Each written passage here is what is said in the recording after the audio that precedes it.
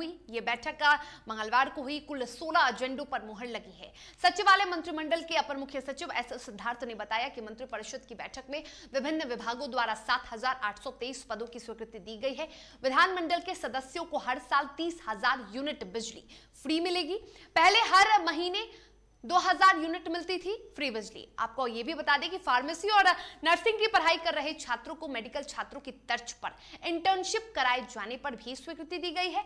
Internship के दौरान हर महीने पंद्रह सौ रुपए की छात्रवृत्ति पर मुहर लगी है और इसके अलावा भी छात्र छात्राओं के हित में कई सारे फैसले लिए गए हैं। सदस्य हैं, उनको 2000 प्रति महीना यूनिट बिजली फ्री मिलती थी। मतलब उनका, उनको मिलती थी 2000 यूनिट बिजली का मंत्री परिषद ने अब इसको कंसोलिडेट कंसोलिडेट करके अब तीस हज़ार यूनिट अब पूरे साल में कंसोलिडेटेड फ्री मिलेगा। तो अगर 2000 का अगर मल्टीप्लाई करते तो 24 होता है लेकिन यह निर्णय लिया गया कि नहीं, तीस हज़ार टोटल यूनिट की बिजली फ्री मिलेगी। तो तीस हज़ार यूनिट कंसोलिडेटेड हमारे विधानसभा और विधानमंडल के जो हमारे विधायकगण हैं, उनको यह यह सुविधा मिलेगी। औद्योगिक प्रशिक्षण संस्था में अनुदेशक संवर्ग नियमावली 2018 में संशोधन किया गया है। तो विभिन्न प्रकार के अनुदेशक रहते हैं। उसमें विभिन्न कैटेगरी के हैं। तो एक नया कैटेगरी जोड़ा गया है, जो है एम्प्लॉयबिलिटी स्किल अनुदेशक।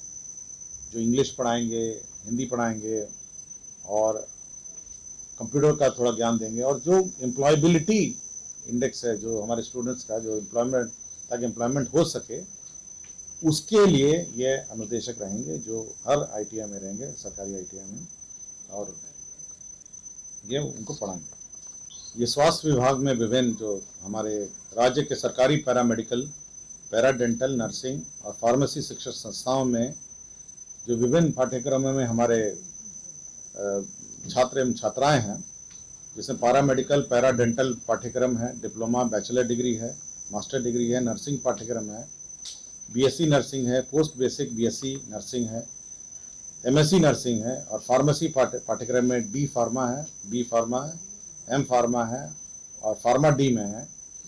इसमें जो भी इंटर्नशिप कर रहे हैं, हमारे छात्र छात्राएँ हैं और कंपलसरी ट्रेनिंग में जो होंगे, उनको डेढ़ हज़ार रुपये छात्रवृत्ति और इंटर्नशिप का भुगतान किया जाएगा। तो ये एक सुविधा हो जाएगी इन छात्र छात्राओं को, जो इंटर्नशिप कर रहे हैं, जो अभी तक इनको कुछ मिलता नहीं था। अब इनको डेढ़ हज़ार रुपये इंटर्नशिप अलाउंस मिलेगा, जो ये कोर्स के छात्र छात्रा हैं। तो बिहार में चार आईपीएस अधिकारियों का तबादला हुआ है, जिसमें से आपको बता दें कि वहीं दो अधिकारी जो हैं, आईपीएस अधिकारी हैं, उन्हें अतिरिक्त प्रभार दिया गया है।